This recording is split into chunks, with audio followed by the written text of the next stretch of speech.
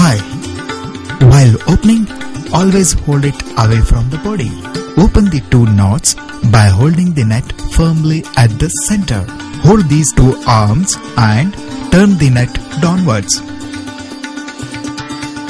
To straighten this arm, press in the middle. This angle should be 90 degrees. This angle should also be 90 degrees. To make these angles 90 degrees, pull this arm this way. Now the net is opened. Keep it on the bed and pull this tag this way. This is the binder's clip. Pull the bedspread onto the rod like this and insert the clip on the bedspread. Now you can sleep inside the net.